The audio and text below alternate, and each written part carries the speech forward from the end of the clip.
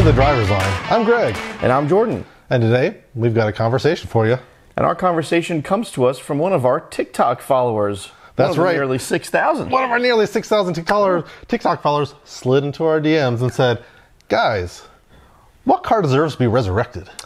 We thought that was a fantastic question, actually. Uh, so we each picked one car that we got to resurrect from the past. That's right. That's right. One car that hit the chopping block years ago, but we thought it still deserved a place in the marketplace today. yeah. So, with that being said, shall I start? Go for it. All I'm right, excited. fair enough. So, um, I am resurrecting from a brand uh, that has actually lost several brands within it.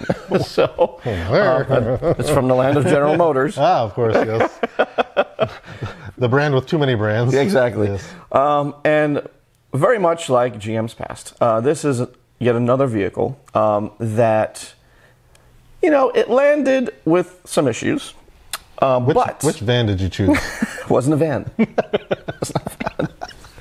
uh, landed with some issues, but of course, like traditional GM reputation, van? it's not a van. the vans were never did- didn't land badly. They're always impeccable, no issues whatsoever. the Dustbuster? We'll forget about that one. Uh, it looked interesting. Uh, so, no, this particular one, um, a, lo- a lot of GM cars, you know, they land with some issues, but as they always do, they fix them and then kill them. So, uh, this particular vehicle uh, was, I would say, pretty groundbreaking, not only for its brand, but for the market at the time. Um, and that is the Pontiac Fiero. Ooh. Yeah. Yes. All right, so to take you on back, the Fiero was introduced in a time when fuel crisis was a thing, right? Big thing, big um, thing. So initially, it was proposed as kind of a performance car, but then as GM kind of looked at the market, uh, they said, you know what, let's switch this up and let's target fuel economy. Um, so this car is actually put together a mid-engine, two-door coupe, was put forth to GM management for production as a fuel economy leader. An And it had- what- had had- did it have the Iron Duke? Was that was the first engine? It was the Iron Duke, yeah, coming in with the Whoa. four cylinder. Yeah. but you know what? That Iron Duke, Also You know- found use in all the LLVs that deliver your mail. that's right. But it's also in a sports car back in the 80s. But it was pretty, actually, I have to say, pretty fuel efficient. Oh, very 50 fuel miles efficient, per yeah. gallon on the highway. I mean, it's, okay. it's not a wonderful engine, but one thing it does do well is conserve fuel. So GM saw that and they're like, okay, well, this is a place for us to kind of compete with the Japanese. We can make a, a fuel efficient two door, uh, looks sporty, you know, but uh, it, we can kind of skirt the sidelines here and, and make it efficient. So we got 50 mile per gallon, pretty slow, two door coupe. Um, you know, eventually they threw in a V6. Yes. Okay, so we upped the power by 40 horsepower. Still not necessarily fast by today's standards. Um, but as time went on, um, we realized that there were some issues uh, with the fuel. Namely, it likes to catch fire. You know. Mean, they, they called it Fiero for a reason. So, yeah, I mean, the, the name Fiero sounds like fire, yes, right? it Uh, does. Yes, very, very not. much so. And so, I mean, meaning, this but- is just like, So yeah, it, the name is supposed to represent bravery and, and triumphant victory, but um, maybe not so much. Uh, we found out that you know if you didn't quite maintain the oil levels, uh, there apparently were some rod issues inside the engine, which would cause it to leak some oil onto the engine parts and catch fire. That was caught early, though. Um, within its first model year, they were starting introducing fixes, but you know, unfortunately, there was so much pent up demand for it. Lots of people bought them actually. In I mean, it was, a, it was a fantastic car, and it looked like nothing else really Yeah. out there at the time. You know, it, you know, it was kind of an analog to the MR2 uh, from Mm-hmm. Toyota, but you know, from from a GM standpoint, it looked like nothing else in their lineup. Absolutely. So, uh, of course, they, they did make a fix for it um, and introduced even more powerful engines towards the end uh, and came out with a different body style for its upper level GT trim, which looked fantastic. Mm-hmm. Oh, I love it. mean, it I looked like a little GTs. Ferrari. Oh, it did look like a little Ferrari, and you know they had like the you know I mean Pontiac was their thing was the cladding, and maybe that was partially some of their undoing too. But the Fiero looked so good with the cladding. I know. Right? It just the lower ground effects and you know the uh, like checkered tail lights. Yeah, oh, I just I love those. I love especially the later models, Yeah. the 89s and 90s, 91. So, um, you know, there was talk. Uh, well, actually, let me back up. you talked about cladding. Mm-hmm. The Fiero was the first one to introduce those plastic body panels on a more affordable vehicle. Yeah. So, you know, we had the Corvettes with the fiberglass bodies. Right. Now we're introducing a slightly different material. There was a brand that harped onto that, Saturn, right? So Mm-hmm. it rolled this out way before Saturn was even a thought. Uh, and we still have vehicles now today using composite body materials. So, Mm-hmm. you know, Fiero had some interesting technology ahead of time. Towards the end, they were talking about, for its second generation, introducing a 3.8 liter turbocharged V6, right? Uh, some dual overhead cam motors that will be introduced in some later models, but actually even made the Car and Driver best 10 best list. It's I not mean, surprising. you know, I mean, it was, it was it was groundbreaking, and that's Yeah. what Car and Driver loves. You know. Exa- exactly. So I mean, they you know when, when they put on their list, they weren't concerned with the fact that you know the rod would go through the blocking, spew out oil, and catch itself on fire. That's not an issue. But the fact that it was you know neat, a tidy package, interesting, and fun to drive was really the the, the impetus behind it. Yeah, so I mean, I think obviously we can't necessarily resurrect it and the Pontiac brand together, um, but I think with the death of the Camaro, sadly, um, Chevy has a place where they could introduce uh, affordable mid-engine, uh, relatively fuel efficient, right?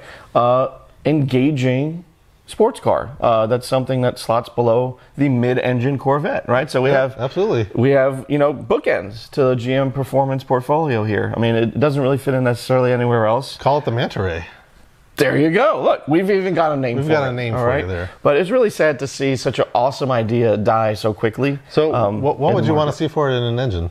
Well, um, I think that it would be a couple of variants. Um, I think you got to stick with a Turbo 4 because Yep. everything has a Turbo 4 Base model, yeah, base model definitely turbo four, but uh, what would you put in the hypo version?